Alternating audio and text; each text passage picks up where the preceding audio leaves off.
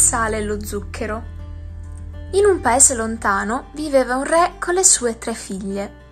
Dopo la morte della regina, il re era diventato triste e pensava che più nessuno gli volesse bene. Così un giorno chiese a ognuna delle sue figlie: Quanto mi vuoi bene? Ti voglio bene come il sole e la luna messi insieme, rispose la prima. Il padre la benedisse per il suo amore. Ti voglio bene come l'oro e l'argento di tutto il mondo, disse la seconda, e il padre l'abbracciò con affetto. Ti voglio bene come il sale e lo zucchero, rispose Smeralda, che era la più piccola.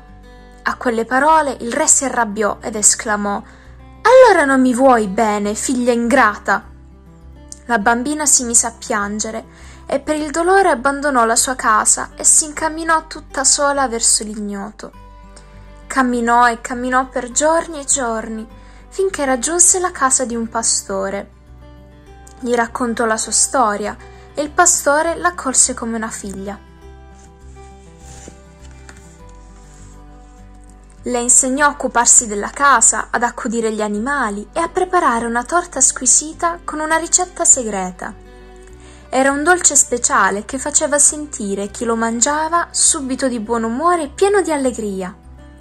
Esmeralda imparò moltissime cose, diventò grande e un giorno decise che era arrivato il momento di andare a vedere come era fatto il mondo.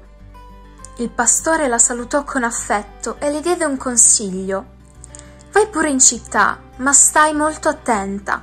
Vestiti da ragazzo, così sarà più facile per te trovare un lavoro.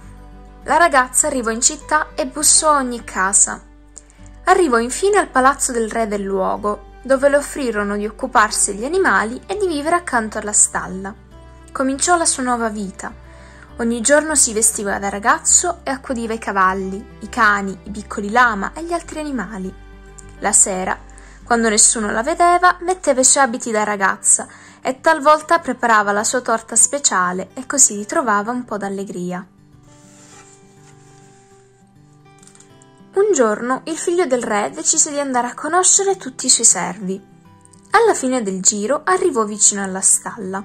Quale fu la sua sorpresa nel vedere una bellissima fanciulla che mangiava una torta tutta sola.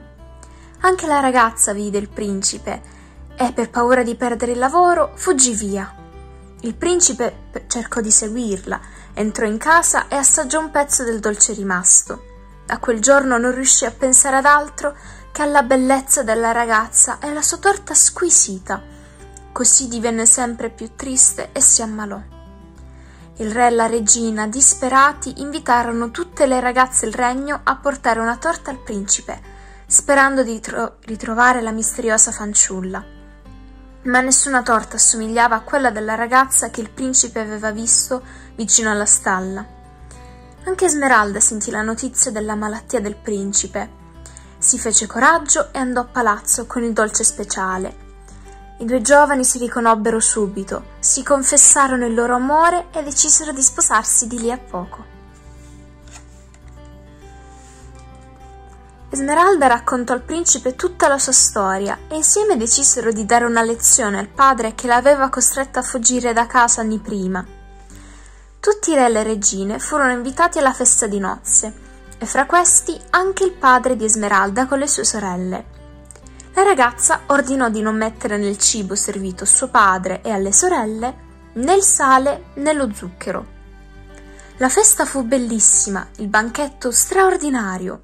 Solo suo padre e le sorelle si lamentavano. Peccato, non siamo riusciti a mangiare niente. Tutto era senza sapore. Forse qualcuno si è dimenticato di mettere il sale e lo zucchero.